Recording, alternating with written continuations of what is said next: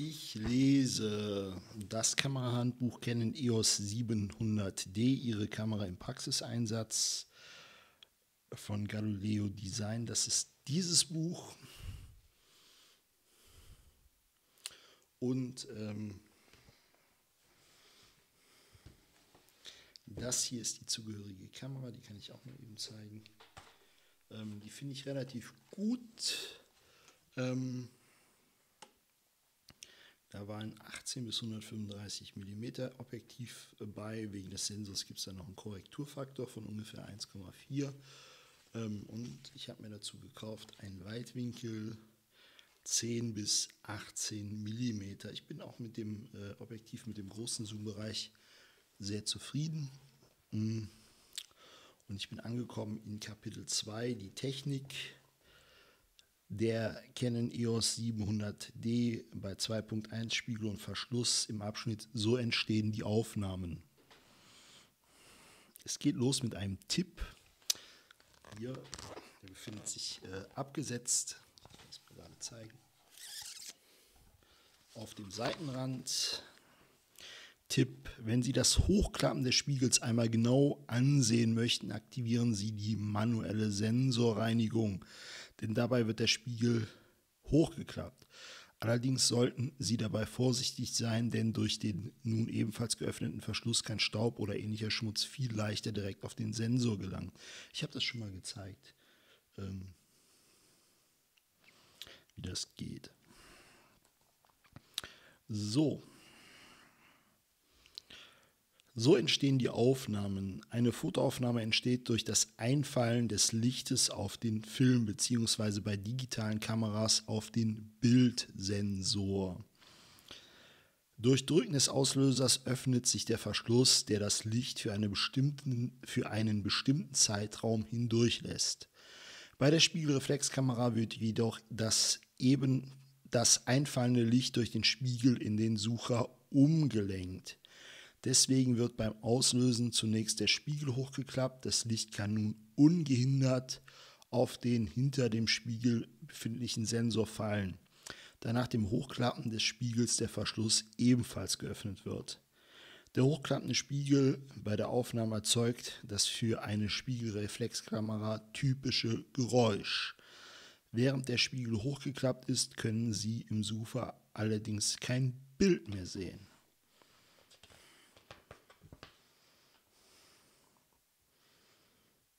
So. Dann kommt der Live-Bild-Modus. Hier ist nochmal äh, ein Bild, wie das veranschaulicht, oder zwei Bilder, die das veranschaulichen, äh, wie das Licht einfällt und entweder im Sucher landet oder äh, auf dem Bildsensor. Live-Bild-Modus.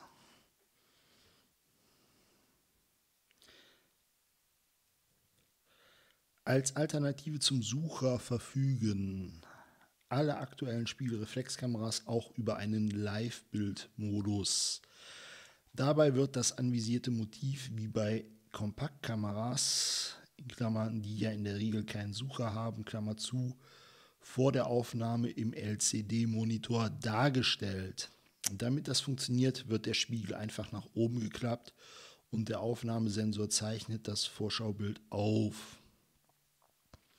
Da kann auch der Hilfsspiegel eingeklappt, da dann auch der Hilfsspiegel eingeklappt wird, der in der Autofokuseinheit reflektiert, müssen Sie bei Ihrer EOS 700D den Flexi-Zone AV verwenden. Siehe Seite 86.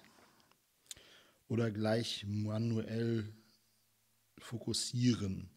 Wenn Sie manuell scharf stellen, können Sie sich die Arbeit mit einem Zehnfach-Zoom des Vorschaubildes leichter machen.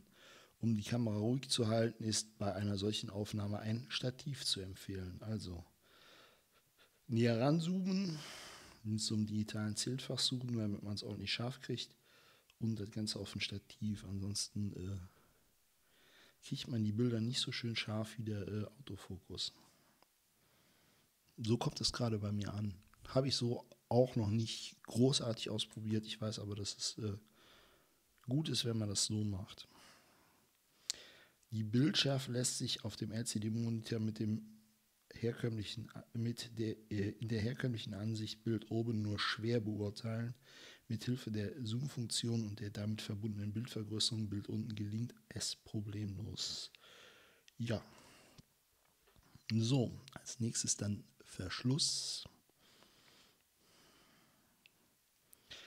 Für ein Foto muss Licht auf den Sensor fallen und die Dauer des einfallenden Lichtes bestimmt der Verschluss. Der ist im Objektiv. Ähm, ist es eher dunkel, dann muss der Verschluss lange geöffnet sein, um möglichst viel Licht auf den Sensor fallen zu lassen. Ist es dagegen sehr hell, reicht eine kurze Belichtungsdauer aus, also eine kurze Öffnung des Verschlusses. Aus mechanischen Gründen werden kürzere Zeiten als die Bildsynchronzeit von 1 2 Hundertstel Sekunden durch einen Schlitz gebildet, der über den Sensor läuft. Denn die Verschlusslamellen lassen sich gar nicht so schnell bewegen, dass der Sensor innerhalb von einer Viertausendstel Sekunde komplett freigelegt und wieder bedeckt werden kann. So, jetzt wird das äh, Ganze erklärt.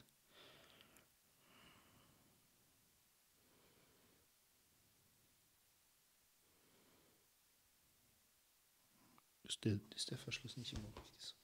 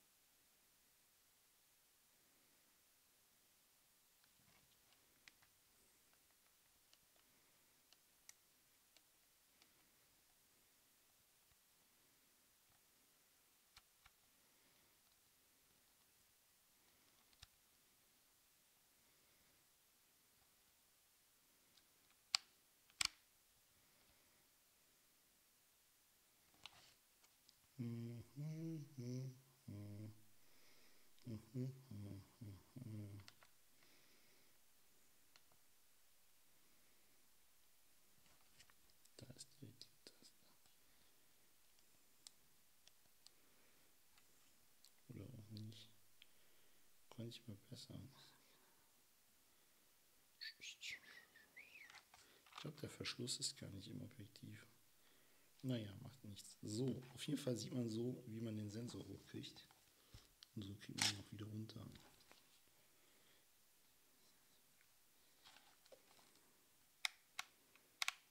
Ach, gerade die geringstmögliche Verschlusszeit. Da müsste man eigentlich was. Der Verschluss ist am Objektiv, da kann mir keiner erzählen. Da steht wieder Blödsinn im Buch, da klappt nur der Spiegel. Ich hab's rausgekriegt. Wusste ich's doch. Also, Verschluss im Objektiv, nicht in der Kamera. So.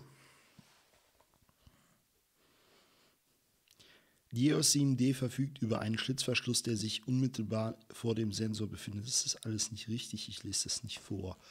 Ähm, also wie gesagt, wenn man sich das äh, anguckt und mit TV, also der Zeitvorwahl, äh, Time Vibration, äh, Time Vibration Zeitvorwahl TV ähm, anguckt, äh, stellt man fest, dass dann nur der Spiegel klappt und der äh, Verschluss, den es gibt, bewegt sich im Objektiv. Deshalb hat so ein Objektiv auch einen Verschleiß und geht irgendwann kaputt. So.